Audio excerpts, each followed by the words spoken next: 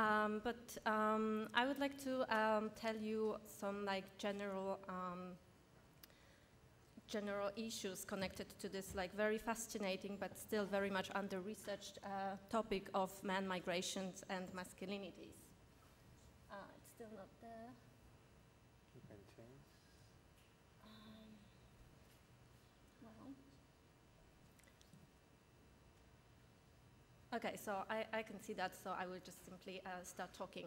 So um, we all know that uh, majority of migrants are men. Uh, it's been like that since the beginning of the history of um, civilization, and uh, until today, uh, this particular uh, um, balance in genders, when it comes to like transnational immigrations, especially, didn't change. So that's the one of the most important um, result of like so like uh, contemporary like migration studies uh, that men are still like dominating in like transnational migrations processes. And uh, it is also connected to the fact that in the classic migration studies, migrant men are usually the main subject of analysis. But uh, in the same time, um, some uh, scientists actually pointed out that in contemporary migration studies, we are facing very specific paradox.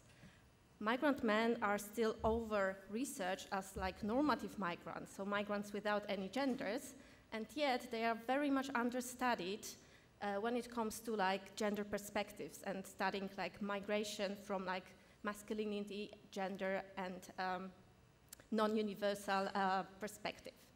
And uh, until today, majority of analyses that taking into account gender perspective in the migration studies mostly focuses on women, and only recently, at the beginning of 21st century, men started to be seen as a subject of uh, migration studies conducted from the gender um, perspective. Um, when we are talking about uh, transnational migrations, it is really important to actually distinguish that it's not like a homogenic um, category, and transnational migrations can be very much different because they can happen in different circumstances, and different types of actors are also engaged in certain types of like migration processes. So we are talking about intercontinental migration, and we can talk about migration from developing to more developed countries. But in the same time, there are also migration processes which are um, which are happening uh, with the involvement of actors who actually migrate from developed countries to developing countries. Uh, of course, we can talk about uh, voluntary migration, voluntary transnational migrations, but also forced transnational migrations. And uh, in terms of like intracontinental migrations, there are also differences. And for example, European Union and European Union mobility is rather important type of migration, which also have very specific character, which is different than like majority of transnational migrations in general.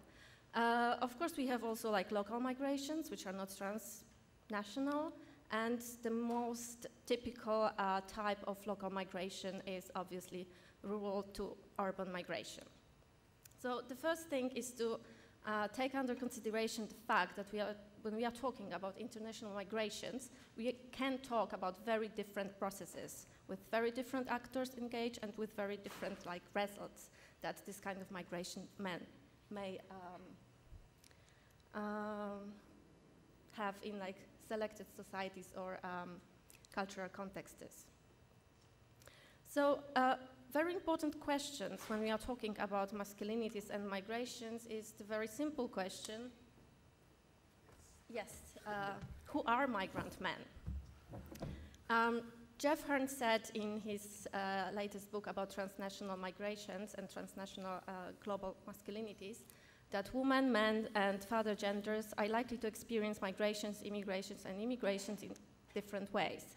But the point is that the differences in experiencing migrations are not only between genders, they are also like in the same group of one gender, mainly men because as we all know, I'm sure this is not a novelty for all of you, migrant men are not homogeneous group, and of course they differ. We have like refugees, we have like asylum seekers, we have like, I don't know, labor migrants in uh, United, uh, European Union, And we also have some sort of like a category which is called like expats. So the experiences of these different type of migrants are completely different, and the experiences that might shape the type of masculinities that they perform or represent also different uh, tremendously. And of course, these differences are connected to such as factors as class, ethnicity, citizen status, uh, age, sexualities, disability, etc., etc. And they also result in different perceptions regarding gender roles, regarding gender equality, and also different understandings and performances of masculinities. So uh, my plan was to just briefly um, uh, present you like three typically um, analyzed types of migrants, and one of them is, of course, uh, refugees and asylum seekers because this topic, especially in the connection to masculinity and uh, uh, well, especially like in the connection to toxic and dangerous masculinity, is very much discussed recently in Europe, and it's not surprising uh, in the context of uh, the so-called migration crisis that Europe has been facing since 2015.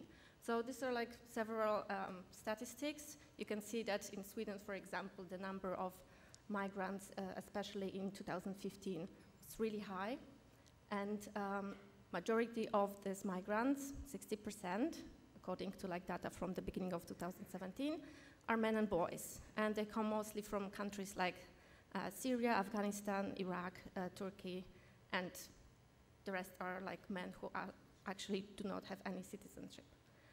And the situation in Germany is almost exactly the same, although the numbers are bigger because it's a bigger country. So 2015, 2016, an enormous number of uh, newly arrived uh, refugees who actually applied for the asylum status in Germany was identified in this country. And again, very similarly to, um, to the Swedish situation, 64% of men and boys, uh, there are 64% of them are men and boys. And the country representation is almost, oh, you cannot see that, but it's almost the same like uh, in Sweden. So it's like Syria, Afghanistan, Iraq, uh, Iran, Eritrea, and several other African countries. Uh, but what was the result of uh, this, like, well, quite a large number of men and boys from non-European countries coming to European Union recently? So the result is that, well, first of all, there are like very different um, discussions, mostly in media, about the meaning of um, the situation and uh, what does it mean for like European uh, values? What does it mean to European value of gender equality if so many men with presumably different types of masculinities and different type of values when it comes to gender equality are coming to the country? So uh, several studies already analyzed the media discussions about like foreign masculinity, foreign refugees from masculinity, and the main results are not really surprising and also not really optimistic because obviously the refugees' masculinity has been identified as the other masculinity.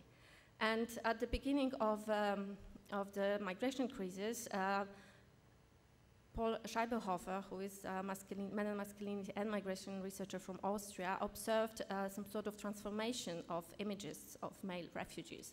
So at the beginning, there was like compassion and empathy, but uh, very quickly it transformed into um, imagination of uh, refugees' um, masculinity as a foreign and dangerous type of masculinity. So what is happening in the media discourses right now in majority of countries where the problem of large amount of, well, not the problem, challenge of large amount of uh, refugees from, um, from uh, Arabic countries appeared, there is a huge discussion about, from one side, hyper-masculinization of this kind of men and blaming them for like performing the most dangerous and the most toxic form of masculinity, which is so much different than European masculinities, obviously. Uh, but it also turned into like demasculinization of this man, especially in the context of the institutionalization of like refugee politics. So this is another paradox. On the one hand, they have been, uh, there have been um, uh, seen as a like hyper masculine, but also like um, the fact that they are not able to make decisions about their own life whenever they are in the country of, um, of asylum also make them uh, make them being seen as like a non-man enough in a sense of like decision-making process. Uh, when it comes to um, real research about like newly arrived refugees' masculinities, there is not much uh, we can actually see or read right now.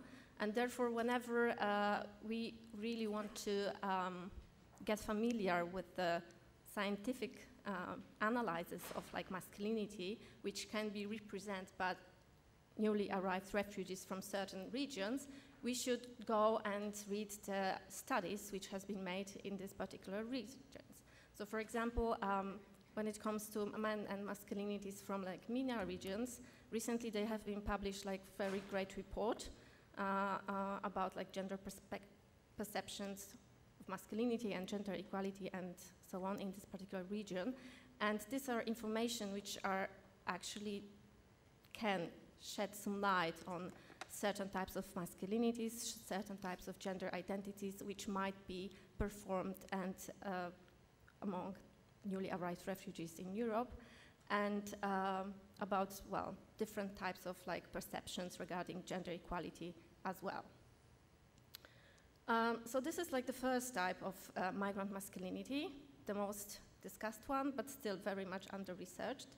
Uh, the second type of uh, migrant masculinity uh, is represented by, for example, Polish migrants in uh, United, in, um, United Europe, European Union. Um, so as you probably also know, uh, Polish migration is, is huge, and since 2004, um, there has been like more than 2 million people migrated from Poland to other European countries. I'm one of them as well, but I'm not a man, so I'm not really discussing my case. Uh, so the Polish migrant man is also like very um, interesting um, type of, I don't know, image, I would say. Because unlike uh, refugee masculinity and refugee men, Polish migrant men are desirable labor migrants because they are white, they are European, and I don't know why, there is this uh, well, there was this saying that they are hardworking people. And um, therefore, uh, migrants from Poland have completely different status when it comes to um, comparison between them and, for example, uh, newly arrived refugees. So on the one hand, um, they are much more respected and they're much more desirable, and uh, they can uh, actually realize their, their well, typical masculine role, mainly breadwinner role, because like the money they're earning abroad are sending to, uh, to, the, to their um, home country, and it, it reinforces uh, the hegemonic status of their masculinity in the country, in the family, in the uh, close circle of, of friends and relatives. Uh, in the same time, uh, they are facing some sort of discrimination in an external context, in the context of the hosting country. And therefore, in the case of Polish migrants, we can observe very peculiar ambivalence of privilege.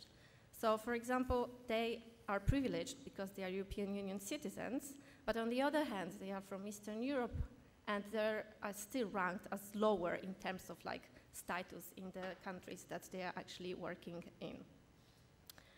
Uh, the last type of masculinities, uh, migrant masculinities, transnational migrant masculinity, are people, in this case men, uh, which are called expats. I personally hate this word because it doesn't really express anything, but expats are um, defined by some researchers as the cosmopolitan commuters who tend to be Western and professional uh, Eurostars. So one of the cases of expats uh, that I've been researching uh, recently uh, were men who belong to the community which is called third culture kids. And third culture kids are people uh, who are moving internationally, mostly when they were children, because of uh, their parents' work in different uh, countries all over the world. And in case of this man, um, mobility very strongly influenced their status, but of course, in a positive way. Uh, where they were children, uh, they were, uh, of course, constructing certain type of gender equality, of gender identity, sorry, and masculinity, of course, as well, and having a status of like expat, transnational, Western or European citizen uh, shaped their masculinity in a very special way. They actually were able to build some sort of like a bridge between uh, hegemonic and hybrid masculinity. And it was strongly connected, of course, to the fact that their class and ethnicity and citizenship status were very uh, characteristic. And, um, and in this particular case, like migration and mobility gives them like much more privileges than they would have if they would stay in their um, uh, in the country of the parents' um, origin. So the conclusion is that um, whenever we are talking about transnational migrations and um, men and masculinities and gender identities, uh, we need to use the spatially intersectional um, perspective because uh, spatial belonging is an integral component of social embodiment and class status, providing also for a more holistic interpretation of gender hierarchies. Because when we are talking about men and migration, and masculinities, we talk about power relations and about hierarchies from the beginning to the end. And so, so social spatial locations are tied to the ever important notion of hegemonic masculinity, which also is the beginning of like discussion about like different types of hierarchies and different types of power relations between men. And um, as I said already, uh, experiences of men are not only gendered, but they are also diverse with respect of mar marginalization and privilege. So the message is that we have to take under consideration uh, spatiality and we have to take under consideration power relations, marginalizations, and privilege whenever we are talking about uh, man masculinities and migration processes. Thank you.